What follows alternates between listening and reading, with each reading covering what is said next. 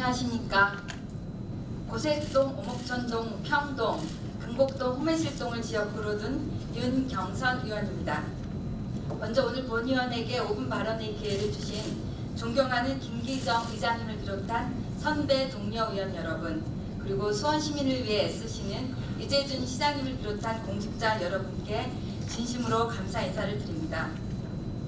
저는 오늘 엘리베이터 미설치로 고통받고 있는 동행정복지센터를 이용할 수 없는 교통약자의 소외감과 개발 제한 구역에 대한 각종 규제로 고통받고 있는 농민의 어려움을 전달하기 위해 이 자리에 섰습니다. 수원시에는 총 44개의 행정복지센터가 있는데 이 중 13곳에는 엘리베이터가 없습니다. 행정복지센터는 문화 소외 지역 주민들이 가장 가까운 곳에서 문화 복지를 체감할 수 있는 장소로 모든 주민이 편리하게 이용할 수 있어야 합니다. 그런데 이동 시 휠체어나 목발을 이용해야 하는 장애인, 관절이 아파 거동이 불편한 노인, 유모차를 이용해야 하는 보호자와 영유아는 엘리베이터가 없는 행정복지센터의 문화 프로그램이나 새마을 문고를 이용할 수 없습니다. 특히 이북동처럼 문화 소외 지역, 저소득층 밀집 지역에 엘리베이터가 없는 경우가 많습니다. 수원의 모든 시민은 행정복지센터에 평등하게 접근할 권리가 있습니다. 당장 이전이나 신축 계획이 없는 행정복지센터부터 엘리베이터 설치 계획을 수립할 것을 요청드립니다. 특히 주변의 행정복지센터 외에는 문화시설이 전무한 입북동 등에 2023년 우선 설치해 주실 것을 간곡히 당부드립니다. 다음은 개발 제한 구역에서 농사를 짓고 있는 농민의 어려움을 이야기하고자 합니다.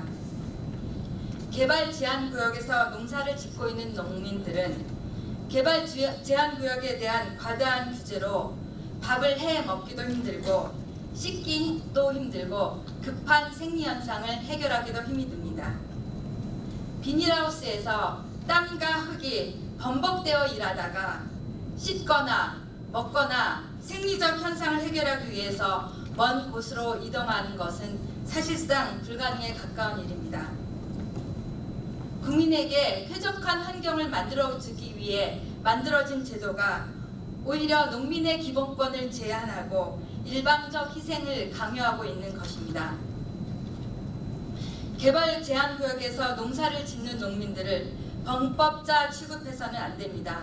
오히려 농민들의 고충을 적극적으로 경청하고 해결해 주어야 합니다.